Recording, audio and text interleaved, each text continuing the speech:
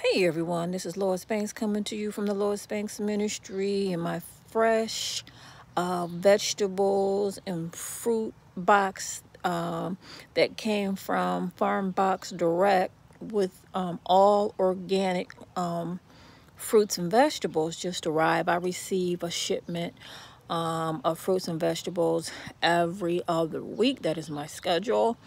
And I just want to show you really quick what it looks like.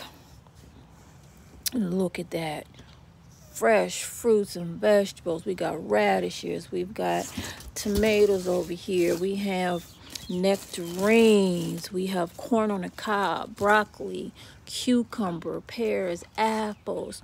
We have some more fruits and vegetables underneath all of these fruits and vegetables that, you know, um, can't get to. We got some green beans.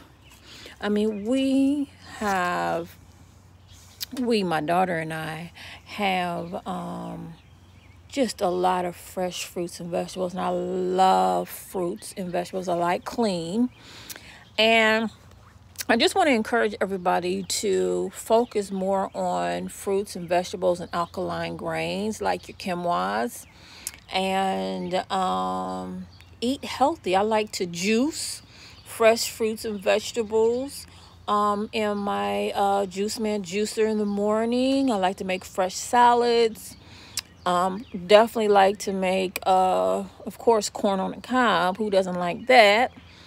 And um, I like to eat fresh fruits and vegetables with my uh, breakfast. I love grapefruits. I like oranges. And I just have a variety um, of great, great uh, food. Love green beans. And I'll take some green beans and cucumbers and I will add them to my uh, Juiceman juicer uh, with my fruits and make me a great uh, vegetable and fruit smoothie. Um, I just wanted to share that with you while I was outside. So everybody will focus in on their health. You can't um, ignore the health laws of God. You definitely have to be intentional. And um, Farm Box Direct offers different priced uh, fruits and vegetable uh, boxes. And I highly suggest that all the foods are clean, no chemicals, very conscious about not destroying the temple of God. I just wanted to share that with everybody. This is Lois Banks coming to you from the Lois Banks Ministry. Take care of your health. Take care of the temple of God. Stick to the Garden of Eden. Don't forget, God did not put chemicals and pesticides on the food for Adam and Eve to sustain life.